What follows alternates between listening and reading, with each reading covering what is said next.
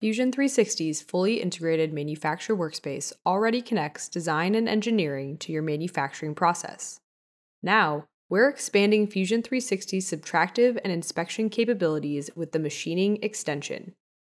Simply enable the extension directly within the Fusion 360 interface, so you have the tools you need when you need them.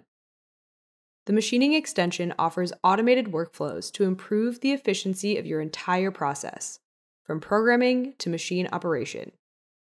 New strategies streamline the finishing of complex components, enable in process inspection workflows, automate hole manufacturing, and bring toolpath modification functionality to the manufacturer workspace. The machining extension delivers you deeper functionality on your terms to help you get the job done.